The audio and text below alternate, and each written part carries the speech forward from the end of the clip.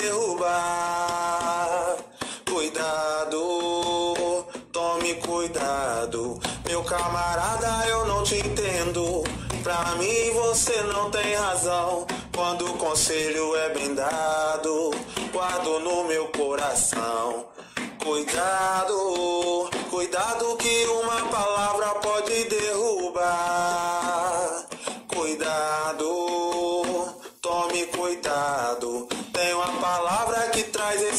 esperança. Essa palavra não vai ser vendida. Essa palavra te dá salvação. Está escrito no livro da vida. Cuidado, cuidado que uma palavra pode derrubar. Cuidado, tome cuidado. Cuidado que uma palavra pode derrubar. Cuidado, cuidado. Cuidado que uma palavra pode derrubar.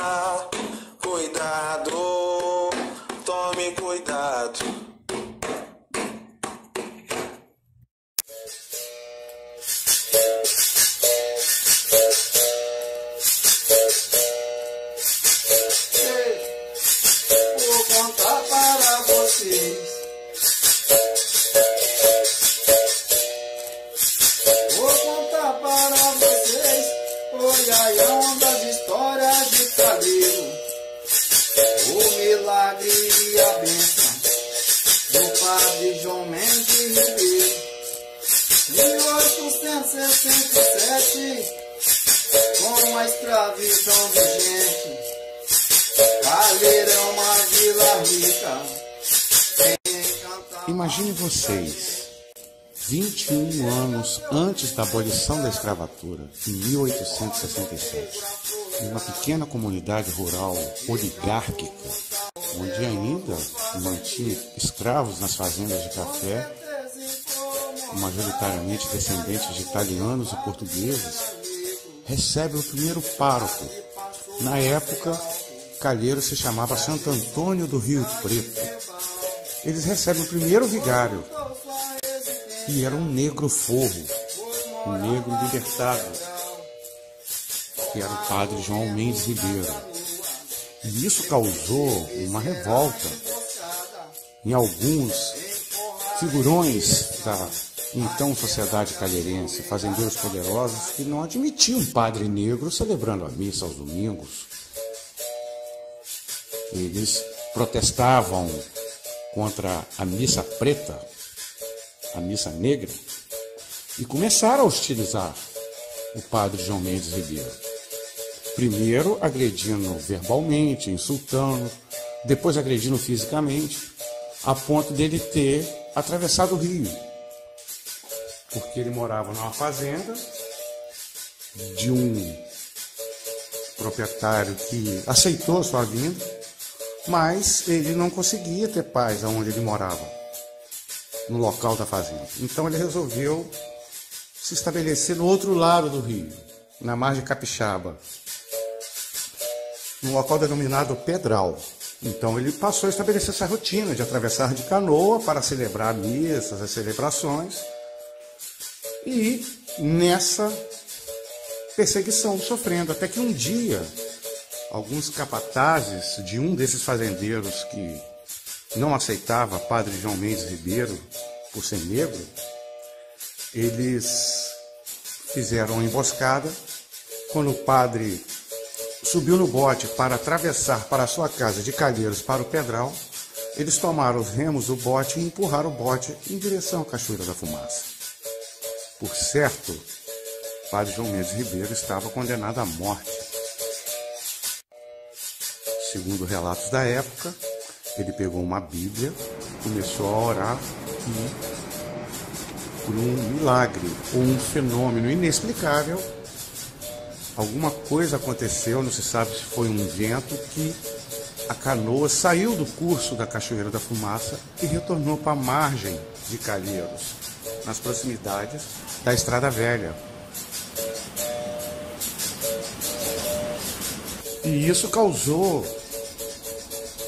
mais cinzanha ainda entre aqueles que não aceitavam o padre. E em determinado dia, o padre, continuando naquela rotina de insultos e agressões, boicotes, protestos em frente à capela, ele perdeu o controle de si e vociferou contra esses detratores, falando que eles não são filhos de Deus, que um dia eles vão ver a coisa preta. Não se tem registro oficial da data exata, mas o calvário de perseguições do padre João Mendes Ribeiro, que começou em 1867, teve a sua culminância entre 1872 e 1875. Foi quando ocorreu uma epidemia da peste negra. Não se sabe, existem duas versões contadas sobre a causa dessa epidemia ter atacado só calheiros aqui na região e não outros vilarejos, como São José do Calçado, que era muito próximo. O fato é que no livro de João Luiz Carreiro, ele menciona que o padre teria recebido a visita de um amigo que veio da Europa e esse amigo estava infectado e infectou o padre e o resto da população, dizimando 70% da população de Calheiros. Foi uma verdadeira tragédia humana e social que aconteceu em Calheiros entre 1872 e 1875.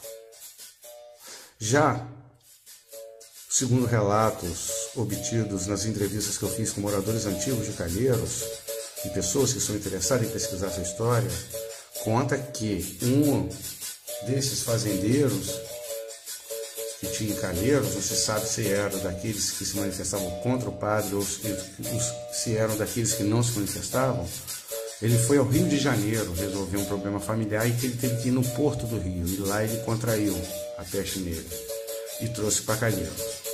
Fato é que isso foi atribuído ao padre. Por isso o nome do livro é A Praga do Padre Preto. Porque anos antes ele tinha falado que esses detratores, detratores iriam ver a coisa preta, E a partir daí, tudo de negativo que acontecia em Calheiros era atribuído à praga do Padre Preto.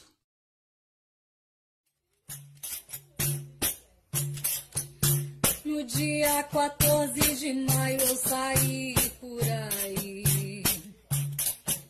Não tinha trabalho, nem casa, nem pra onde ir. Levando a senzala na alma, eu subi a favela. Pensando em um dia descer, mas eu nunca desci. Zanzei zonze em todas as zonas da grande agonia. Um dia com fome, no outro sem o que comer. Sem nome, sem identidade, sem fotografia. O mundo me olhava, mas ninguém queria me ver. A história do Padre Preto, ela é repleta de paradoxos e até mesmo contradições, visões diferentes. Se para muitos é o padre que roubou a praga, para outros eles consideram o milagre do Padre Preto. Se para muitos, Padre João Mendes Ribeiro baixou uma praga em Calheiros, que nada passou a dar certo em Calheiros, para outros muitos também, Padre Preto, ele concediam bênçãos. Tanto que o túmulo dele se tornou local de peregrinação. E o túmulo de Padre Preto, ele foi frequentado por pessoas antigas que iam agradecer graças obtidas por conta da crença do milagre que salvou sua vida, desviando a sua canoa do curso da Cachoeira da Fumaça, na tentativa de assassiná-lo. E esse documentário, ele vai sair da praga do Padre Preto, narrada lá em 1867, para o milagre do Padre Preto. E não é só o milagre que salvou sua vida naquela ocasião. Vamos falar das transformações de Calheiros que vem ocorrendo paralelo e acompanhando os desdobramentos históricos envolvendo a memória de João Mendes Ribeiro. Como chegamos agora em 2003 para narrar os fatos ocorridos naquela época, que foi o primeiro passo da conciliação definitiva entre a Igreja Católica e a memória do Padre Preto, Padre João Mendes Ribeiro.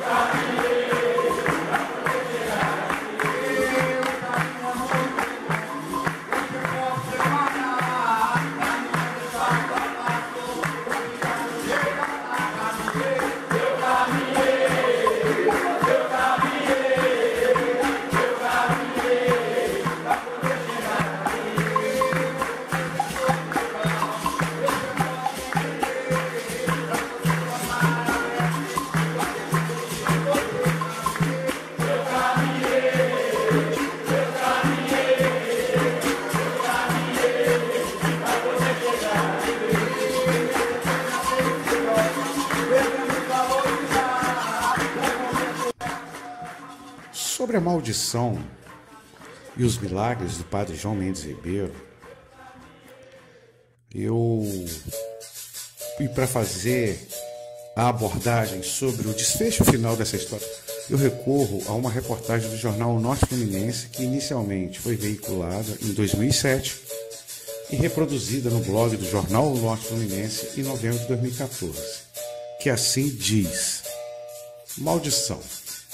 De acordo, contudo, com forte tradição oral, durante os 120 anos decorridos da morte do padre João Mendes, uma maldição teria incidido sobre Calheiros, por causa da discriminação racial feita ao pároco.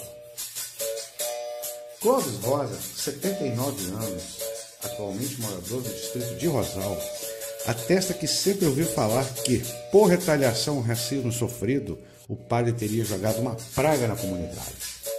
Padre José Paulo, em memória, menciona que antigamente ouvia as pessoas comentarem que Padre João Mendes, revoltado com a discriminação, teria dito: agora vocês vão ver a coisa ficar preta.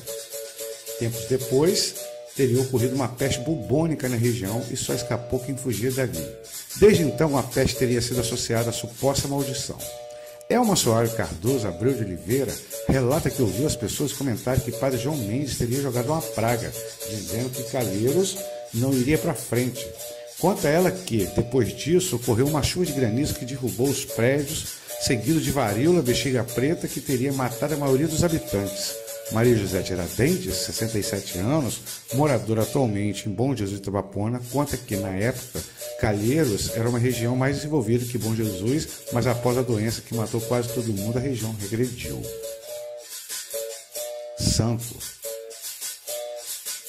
Maria José de Souza, também residente em Bom Jesus de Itabapuana, narra, por outro lado, que, quando jovem, testemunhou um fato extraordinário. Vi várias vezes o vulto do padre João sobre o seu túmulo. Sebastião Alves Campos, morador do distrito, mencionou que a comunidade, no ano de 2003, tentou apaziguar a suposta maldição. Fizeram um novo túmulo para o padre João Mendes e cercaram a área para ver se Calheiros desenvolvia.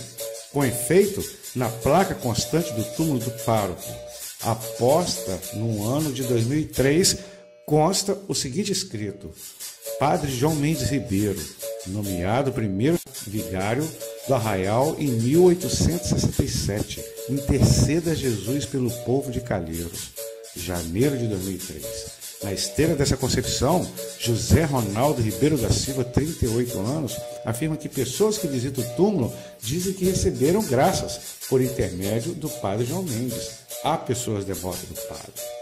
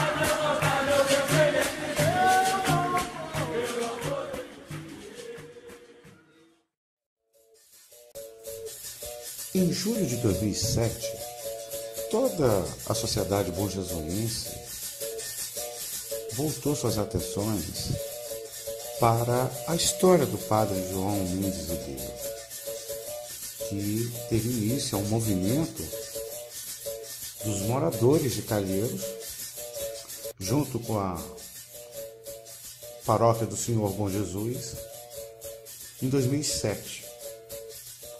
E dentro desse contexto, eu recorro novamente à reportagem do jornal Norte Fluminense, no qual diz o seguinte: O fato é que durante todos esses 120 anos que sucederam a morte de Padre João Mendes Ribeiro, até os dias atuais, tudo o que de ruim ocorresse na comunidade era atribuído à praga do Padre Preto conforme o texto assinado em nome da comunidade de Calheiros, solicitando a transferência dos restos mortais do padre para a capela de Santo Antônio, como meio de reparar a injustiça e acabar com a maldição. O pároco da paróquia, Senhor Bom Jesus, Vicente Osmar Batista Coelho, encampou o desejo da comunidade e aforou um pedido de alvará judicial através do advogado doutor Ademir Monteiro da Silva ao juiz da primeira vara da comarca, Dr. Luiz Alberto Nunes da Silva, pleiteando o referido traslado. Na petição, restou assinalado que, aspas, as pessoas daquele distrito em sua maioria cristã, encarregada de promover a paz e a harmonia ali, tem dificuldade de lidar com esses fatos e, por conseguinte, pretende contribuir para o seu desfecho, porém, de maneira solidária e cristã. Deseja dar ao padre e aos seus restos mortais uma sepultura digna.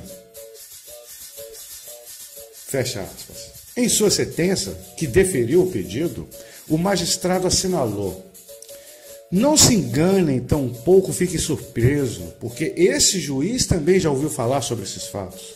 Ao encerrar, esse juiz se associa cumprimentando aos moradores de Calheiros nesse pleito que é, sem sombra de dúvidas, o resgate, a mensagem, a testemunha dos tempos, a luz da verdade, a mestra da vida, a mensageira de sua fé inabalável, desembocando provavelmente no legítimo, autêntico e puro resgate da vontade de seus ancestrais que circunstancialmente não tiveram tempo de promovê-lo. Ante o exposto, acolho por sentença o pedido inaugural e, por conseguinte, autorizo a transferência dos restos mortais de várias vezes mencionado o padre João Mendes Ribeiro, do local onde se encontram, para dentro da capela de Santo Antônio, de propriedade da Igreja Católica, na Vila de Calheiro, segundo distrito de Bom Jesus de Tabapuana. Uma ideia que surgiu, que partiu de você, essa ideia, e hoje, nesse dia, 15 de junho está sendo concretizado essa ideia que partiu dentro da sua casa. É, o pensamento da gente é o seguinte, se os nossos antepassados, se realmente tiveram orgulho e ofenderam um, um homem de Deus, nada mais justo que nós, no presente hoje, pedir perdão a esse ser humano em nome dos nossos antepassados. Porque é muito triste uma pessoa que só falou em Deus, que só fez o bem e foi tão maltratado. É natural e acho que é justo em Deus nós pedir perdão a essa pessoa. O melhor momento, a melhor forma de pedir perdão é levá-lo para dentro da nossa igreja para que nós possamos a cada dia olhar a placa dele e rezar para ele que ele perdoe os nossos antepassados é, suprir né, uma injustiça que ele sofreu naquele período né, do Império. Então, só agora né, que a comunidade percebeu que é muito importante os restos mortais, né, a gente sabe que provavelmente só tem o pó, porque muitos anos, então de os seus restos ir para a igreja, né, ficar dentro da igreja. Então é um reconhecimento né, pelas injustiças que no passado ele viveu. Mas para Deus nada é impossível, para Deus nunca é tarde de a gente reconhecer nossas fragilidades, nossas misérias, nossas limitações e saber que nosso Deus é, é rico de misericórdia. Né? E Ele nos reconhece quando seus filhos realmente assim, voltam para a casa do Pai. E esse homem de Deus hoje merece essa homenagem desse povo caleirense, desse lugar que na verdade ele sofreu tanto. Né? Mas sofreu, mas sabendo que a missão dele era de evangelizar. Saber que nosso Senhor Jesus Cristo disse né, que quem quiser seguir, tome a sua cruz e siga-me. Nosso Senhor nunca prometeu mar de rosa para quem quer ser seu discípulo. Né? Por isso, se ele sofreu, hoje ele merece merece todas as honras, todas as graças nesse momento que o povo está reconhecendo. Eu vejo como um ato, primeiro, de gratidão e também assim de justiça. A gratidão porque era uma pessoa consagrada, pertencia à Diocese de Mariana e ficava aqui para atender os fiéis. Apesar de ter passado tantos anos, nós temos aquela gratidão pelos nossos antepassados, honrar nossos antepassados. E depois de justiça, se é que houve, na realidade, uma falta de respeito ou de justiça com o padre, nós não podemos colaborar com erro de época nenhum. Então, é mais do que justo que agora, reconhecidos e até mesmo reparando, é, procuremos também a pedir a Deus, não é isso? Que não só perdoe os do passado, mas que nos livre de cometer uma falta de não ter a caridade ou então o respeito com a pessoa consagrada. Essa é a minha maneira, uma visão de ter nesse momento essa transladação dos ossos do, do padre João Mendes. Antes da exumação, o padre José Paulo Vieira fez uma oração de bênção da sepultura. Deus de cuja misericórdia, alvo dos fiéis defuntos, alvo do fiel defunto, no caso, o padre João Mendes, aqui está sepultado, vos pedimos que vos digneis abençoar e digneis mandar um anjo do céu para guardar, proteger e defender esse lugar de qualquer profanação. Os senhores veem que a igreja, o último pedido da igreja é o respeito com a sepultura. Entregou Todo lugar tem um anjo para proteger. Nós todos temos um anjo para nos guardar. Nossa família tem um anjo para proteger. O lugar tem um anjo no lugar para proteger. A igreja tem um anjo para proteger. São Miguel, não é isso? E o anjo do local pedir para que ele não deixe de ser profanado. Ninguém faltou ao respeito no local. Essa é a oração que eu vou fazer. Em nome do Pai, do Filho e do Espírito Santo. Oremos, Deus cuius miseratione, anima fidelio, requesto tumulum benedicere, eique angetum depto custodium, et cuius obras testimonium abomibus, absolvos indelictorum, os ter sempre com sine fide defeto, ter Cristo um Domino nosso. Amém.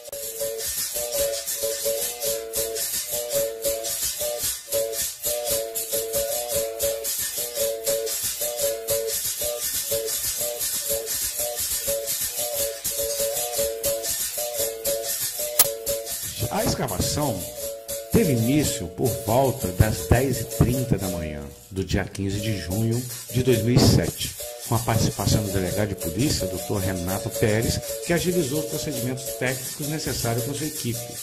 Cada golpe de enxadão que atingia a terra era acompanhado com extrema atenção por todos. Após alcançar o subsolo, os quatro trabalhadores indicados para a escavação se defrontaram com cerca de 11 pedras de médio porte, o que aguçou ainda mais a curiosidade dos presentes. Após a retirada das mesmas, os golpes de enxadões foram feitos com cuidado para não danificar os restos mortais eventualmente encontrados. Momentos depois, encontrou-se o primeiro objeto que indicava ser um pequeno pedaço de alça de caixão, fato este que se deu por volta das 11 horas. Prosseguindo a escavação, encontraram-se dois pequenos objetos que sugeriam ser adornos dos caixões. Por volta de 11h20, encontrou-se finalmente o primeiro resto mortal de Padre João Mendes, um dente em perfeito estado de conservação. Posteriormente, outro dente e, em seguida, algo semelhante a uma arcada dentária. E foi só.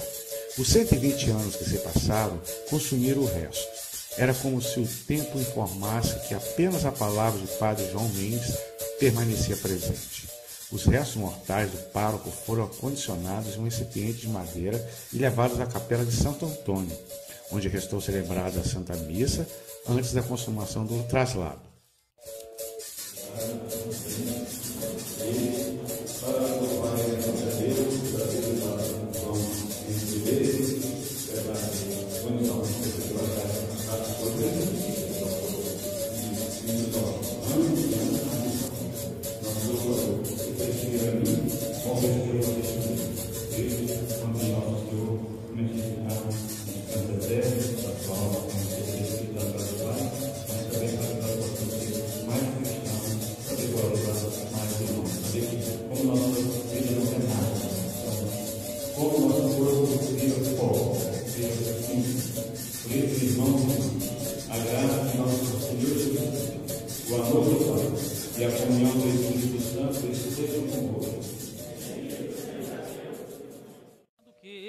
Um fato realmente com uma repercussão histórica incomensurável.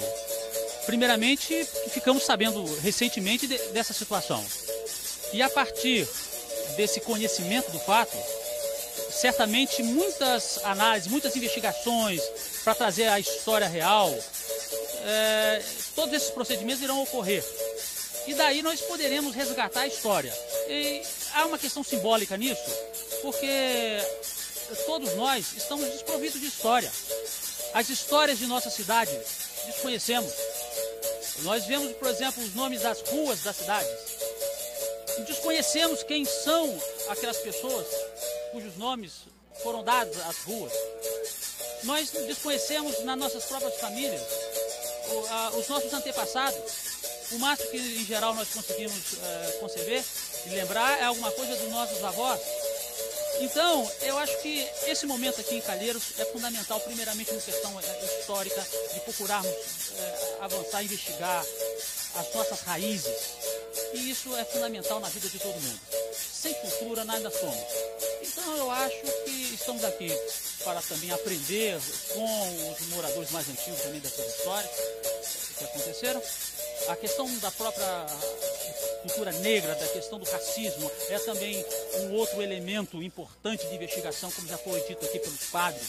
O momento da própria igreja, no caso, redimir-se dos seus erros, da própria comunidade refletir também sobre essa problemática do racismo. Então, eu acho que esse, então, em síntese, é, é um momento que é relevante para todos os aspectos sociais. Eu caminhei, eu caminhei, eu caminhei pra poder chegar aqui. Eu caminhei. A história do padre João Mendes Ribeiro, ela é fabulosa e única, a mais impressionante de Bom Jesus do Bapuano de toda a nossa existência, porque ela mergulha fundo no universo dos mistérios da fé, do inexplicável, do sobrenatural, do paranormal, o que ocorreu a partir de 1867 na antiga vila de Santo Antônio é, é fascinante porque todos os desdobramentos históricos ao longo de quase 150 anos vão de encontro com a crença de que Padre João Mendes foi salvo por um milagre e que a rejeição por conta da cor da sua pele resultou num castigo para Calheiros, um castigo secular. E que a retratação 140 anos depois, primeiro com a reforma do túmulo e reconhecimento dele como o primeiro vigário de Calheiros, e depois no traslado dos restos mortais. As transformações de Calheiros foram surpreendentes a partir de então.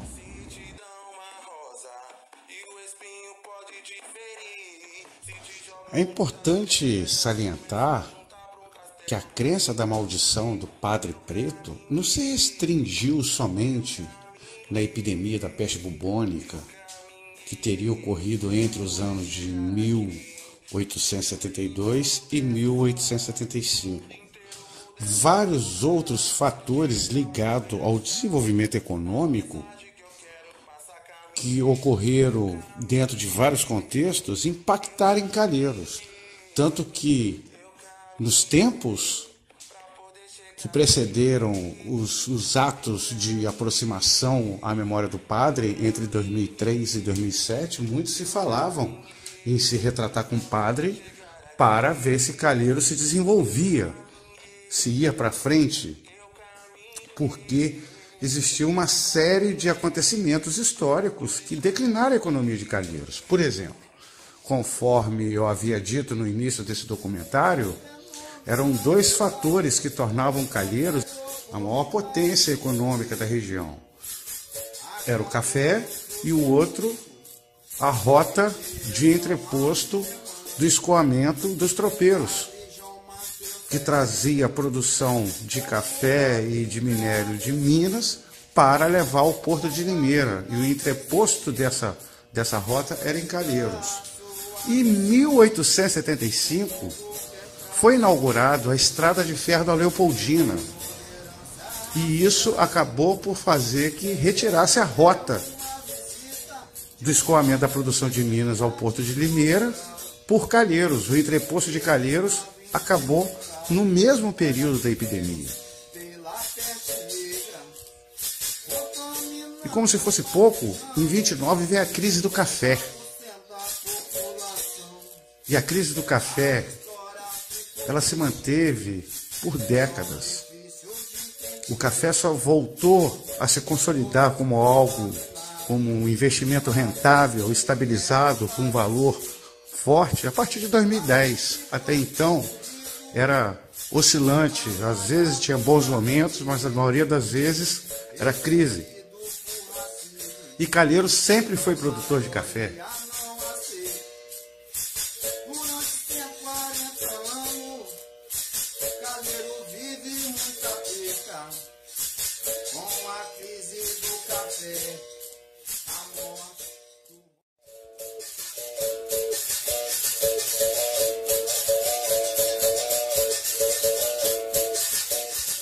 Disse vocês, o café só voltou a ser algo rentável a partir de 2010, três anos depois do traslado dos mortais do padre João Mendes Ribeiro.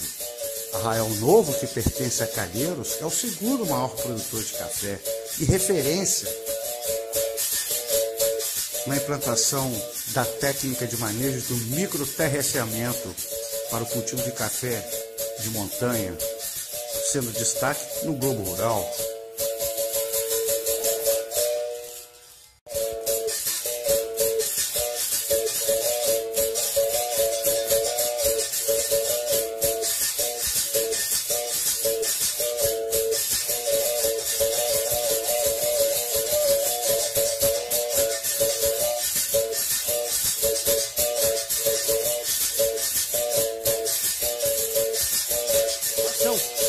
A Fundação Procafé, juntamente com a Federação da Agricultura do Estado do Rio de Janeiro, está propondo a construção do que tecnicamente vem sendo chamado de microterraceamento. Para saber como esse trabalho é feito, nós viemos até Bom Jesus do Itabapuana, no noroeste do estado do Rio de Janeiro, na propriedade da família Delis Poste,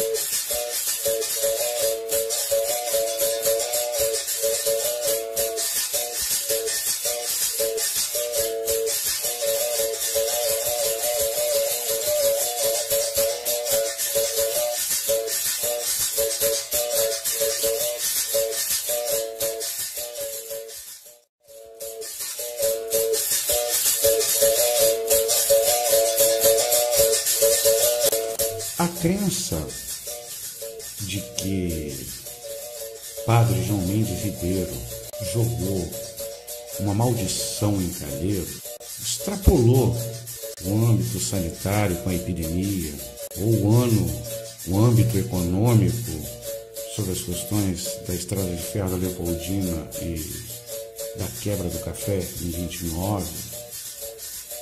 Ela também foi lamentada no âmbito político, como muito bem aborda João Luiz Carreiro em seu livro A Praga do Padre Preto. Calheiros não elegia um vereador. Realmente fazia muito tempo que Calheiros não elegia um vereador. No entanto, vejo que coincidência, ou seria uma bênção pela intercessão do padre. Um ano depois, do traslado dos restos mortais do Padre Preto, esse mesmo Heraldo Saludo de Rezende, que foi um dos mais engajados na luta pela preservação e ainda é um dos mais engajados na luta da preservação da memória do Padre João Mendes Ribeiro e sua história, e que está aí de camisa azul atrás do saudoso Padre Zé Paulo e depois carregando a urna com os restos mortais de Padre João Mendes, da antiga sepultura, para a capela. E no ano seguinte ele se elege vereador na eleição de 2008. Coincidência ou bênção?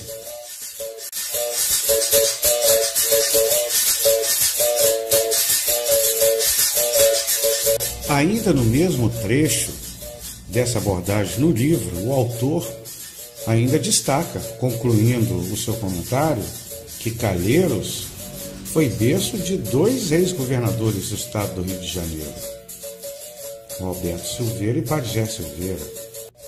Notavelmente, Roberto Silveira é um fenômeno político, nascido em Calheiros em 11 de junho de 1923. Uma sessão política meteórica, chegando a governador com pouco mais de 30 anos de idade e já preparado por João Goulart para ser seu sucessor na presidência da República, acompanhando viagens internacionais. Porém, em fevereiro de 61, quis o destino colocar um fim nessa história fabulosa de Roberto Silveira.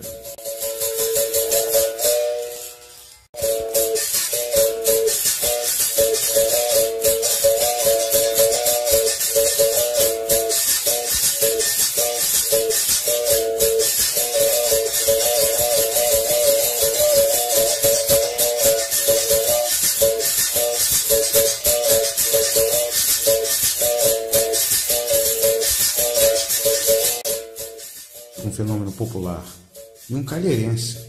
Talvez no âmbito da representatividade política, não é só Calheiros que perdeu Alberto Silveira. Bom Jesus Tabapuana, todo o estado do Rio de Janeiro perdeu muito. Era um valor que se afirmava. E eu vim observar né, o quanto ele deitava raízes de solidariedade junto da população, junto dos municípios do interior. Mesmo com toda essa relevância e protagonismo de Roberto Silveira, sua memória ficou esquecida não só dos calheirenses, mas de toda a Bom Jesus Tabapuana por décadas. Até que nos idos de 2013, 2013 para 2014, começou um movimento calheirense de cidadãos de Calheiros enganjados pelo resgate histórico, não só de Roberto Silveira, mas também com Badger Silveira, os dois ex-governadores calheirenses, e que juntos fundaram a Associação dos Amigos do Memorial Governadores Roberto Badger Silveira e, em 2016, inauguraram o memorial, num momento histórico de resgate e no qual isso também contribui para o desenvolvimento não só cultural, mas também socioeconômico, pois ali, a partir de 2014, praticamente todos os anos, temos eventos comemorativos sobre a família Silveira, não só os dois ex-governadores, mas falam das raízes desde Boanerges e de Manuel Inácio da Silveira. Portanto, hoje Roberto Silveira e Badia Silveira vivem em Calheiros, no memorial.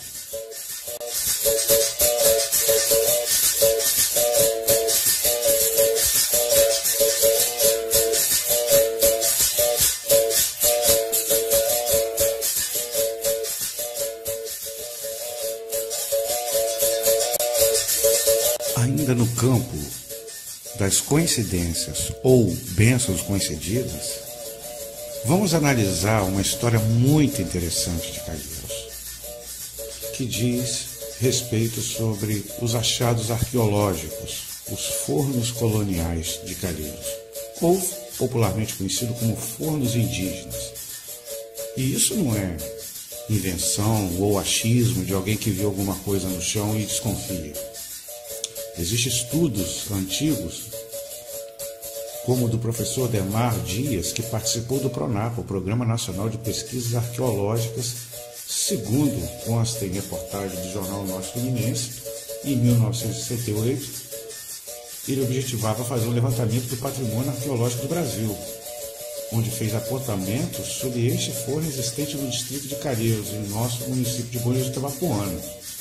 Já o texto científico intitulado Notícias Preliminares sobre o Programa Arqueológico do Norte Fluminense, de Alfredo A.C. Mendonça de Souza, do Instituto Estatual do Patrimônio Cultural e SCBRJ, emitiu em 82 um comunicado à comunidade científica sobre os primeiros resultados colhidos, onde apontavam dois fornos indígenas ou fornos coloniais.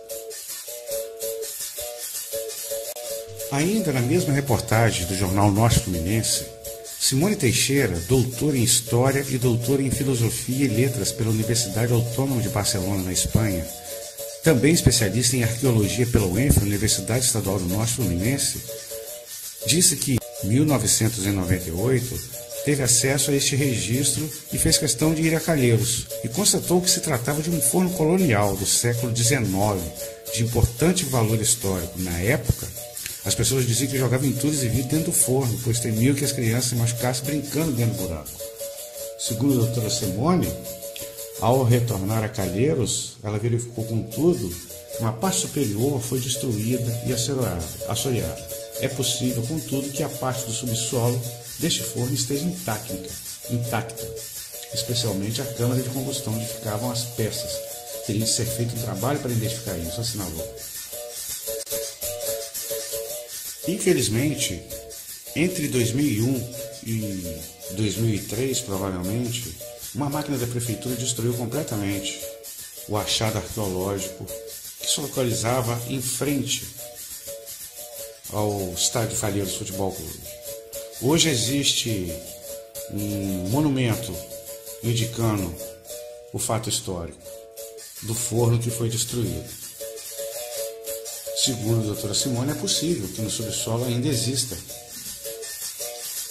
mais vestígios desse achado, mas teria que ser feito um trabalho específico. E eis que, em 2017, dez anos depois dos traslados dos restos mortais do padre João Mendes Ribeiro, um outro sítio arqueológico é encontrado em Calheiros. Esse, por coincidência ou bênção concedida, dentro da área onde se localiza o Santuário de Nossa Senhora Aparecida.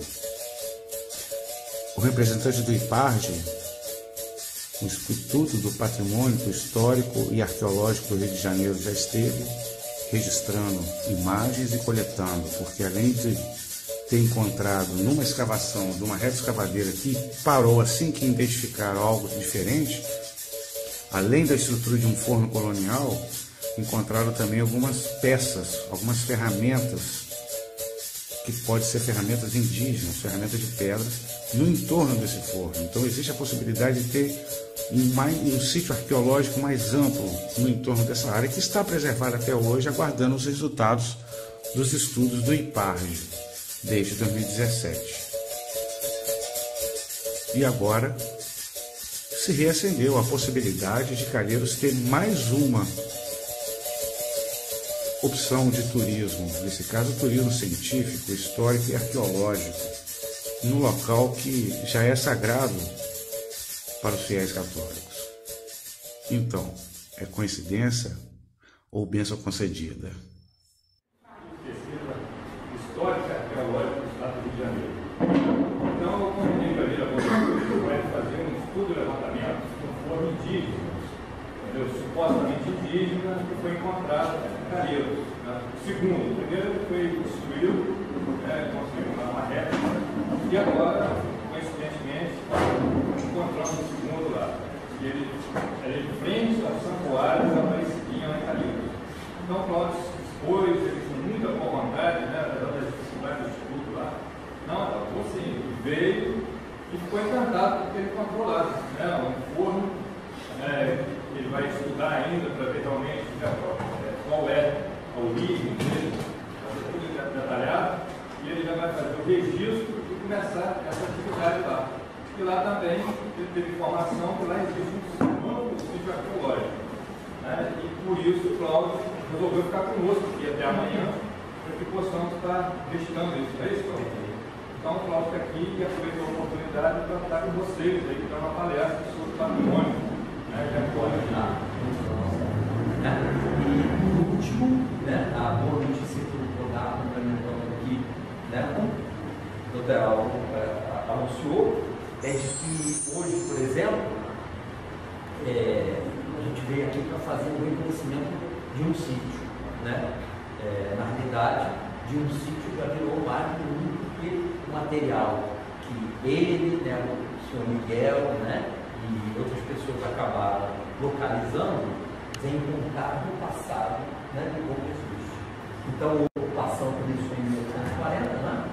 em 1876, houve né, na cidade, né? também sabia que os políticos passaram por aqui, né? mas não tinha nenhum dado. Tá? E hoje, né, ele me levou né, é, no distrito Careiro e a gente encontrou encontramos também material. Né, tão bonito como esse, vocês vão ver, né, e que vem mostrar o passado da região que vocês Tá?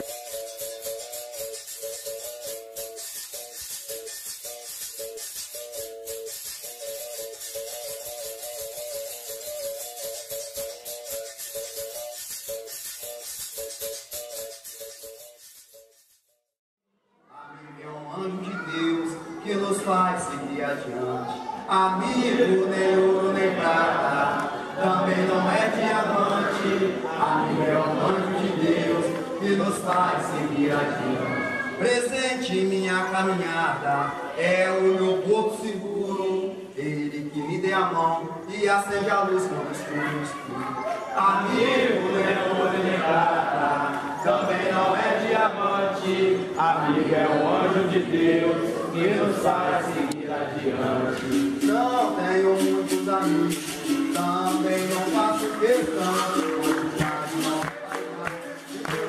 Continuamos a análise e dessa vez agora com a mais impressionante de todas as transformações que Calheiros vem vivenciando nos últimos anos. E esse então impacta diretamente no desenvolvimento socioeconômico e cultural de Calheiros. Eu estou falando a peregrinação de Nossa Senhora de Aparecida, que começou em 1994, com um evento basicamente local em Calheiros, com poucas pessoas de Bom Jesus que participavam, conforme nessas imagens. E na última década, o evento ganhou uma adesão absurda e passou a ter uma grande peregrinação já na véspera, na noite do dia 11, onde as pessoas saem da Praça Governador Portela, caminham madrugada dentro até Calheiros, mais de 20 quilômetros. Sendo que eu tenho relatos de pessoas que saem da Serrinha, a 70 quilômetros de Calheiros. E o evento, se não é o maior, é um dos maiores eventos católicos de todo o estado do Rio de Janeiro. Prosperidade para o nosso Brasil. Salvai a nossa pátria. Senhora Aparecida, o Brasil vos ama, o Brasil em vós confia. Senhora Aparecida, o Brasil tudo espera de vós. Senhora Aparecida, o Brasil vos aclama. Salve, Rainha, Nossa Senhora e nossa protetora.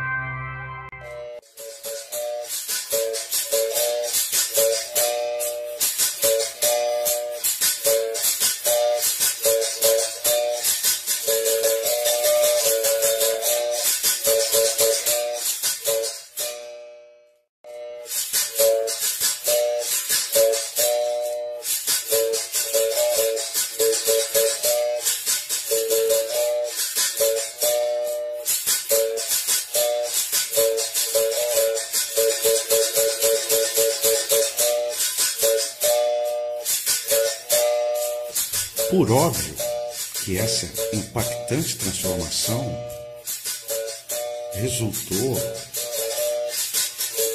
em novos estabelecimentos comerciais relacionados ao turismo em Calheiros. A peregrinação de Aparecida, com seu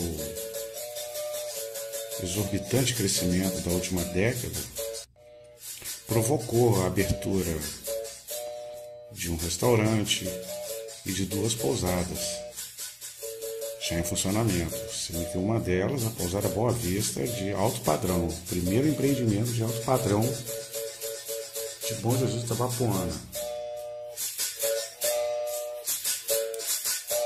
Então eu pergunto novamente, é coincidência ou bênção concedida?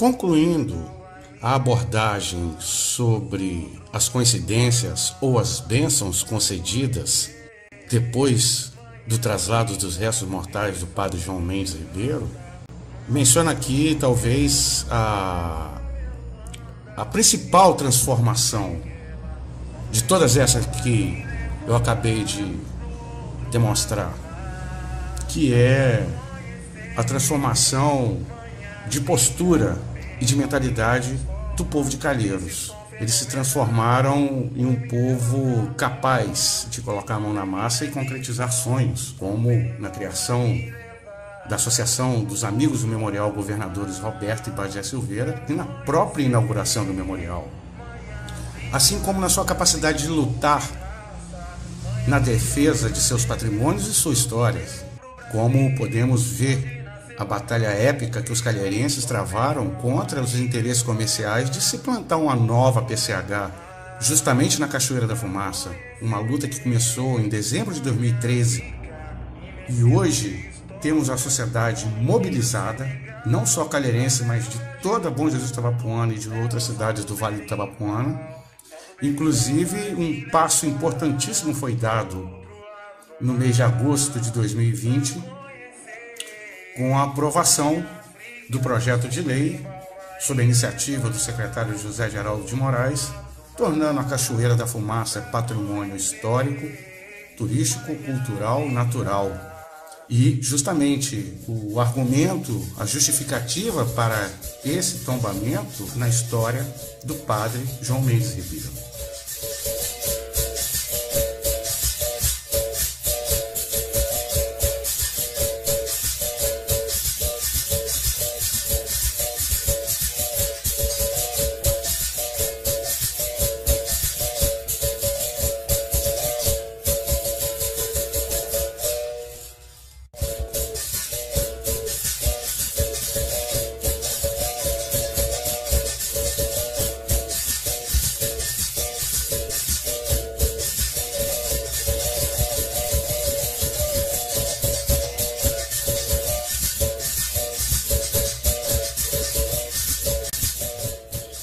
Perseverança e a resistência do povo calheirense na defesa da Cachoeira da Fumaça não foi em vão. Como já disse, o Poder Executivo decretou a cachoeira como patrimônio histórico, cultural, natural e turístico do município. E a partir de 2017, a recompensa não poderia ser mais simbólica, mais emblemática, que foi a chegada de um investidor com um projeto de um grande empreendimento turístico na antiga Fazenda Itaguaçu. Hoje, Fazenda Rio Life. Um complexo turístico de múltiplas atividades que não vai desenvolver só a economia de Calheiros, mas sim de Bom Jesus de Itabapuana por inteiro e toda a região. E isso representa uma vitória do povo calheirense, muito por conta da filosofia de trabalho desse empreendimento, que está priorizando o recrutamento de candidatos às vagas de empregos no empreendimento em Calheiros. Jovens, adultos de Calheiros vivendo o sonho de conseguir um emprego digno perto da residência, perto de suas famílias, sem precisar sair para longe. Aí eu novamente pergunto: é coincidência ou bênção concedida?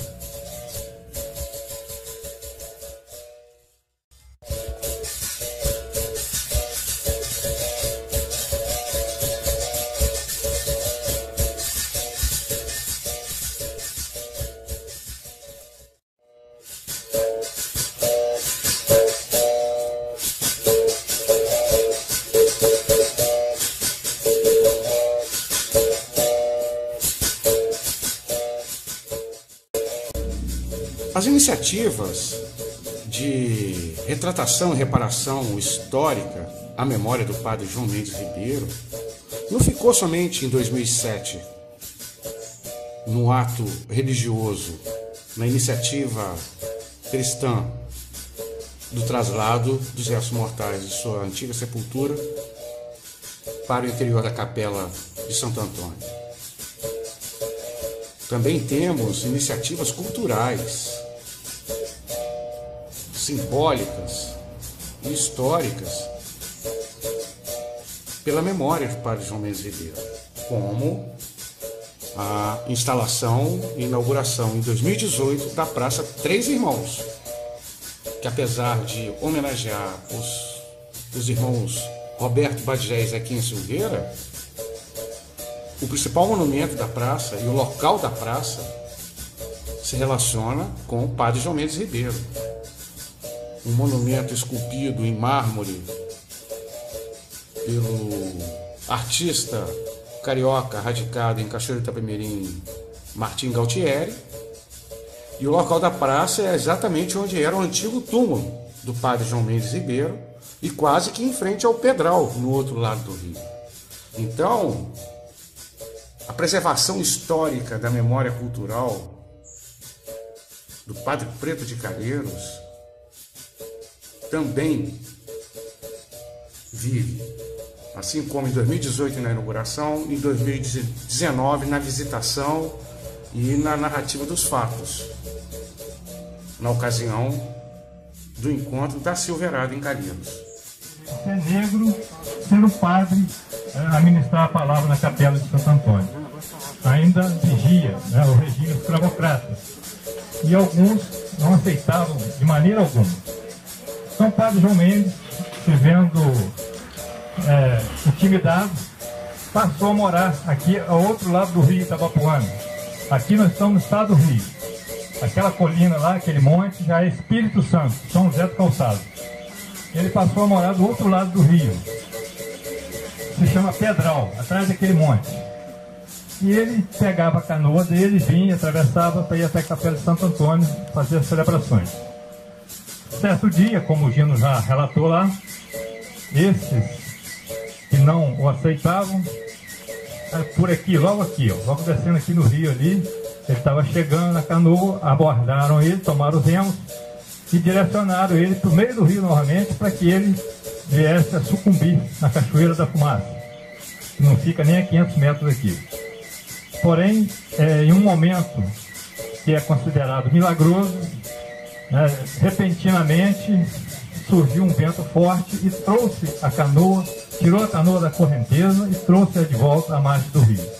E o padre João Mendes saiu tranquilamente, é, que antes ele não se perturbou quando foi empurrado para o meio do rio, pegou o seu livro, começou a fazer as suas orações.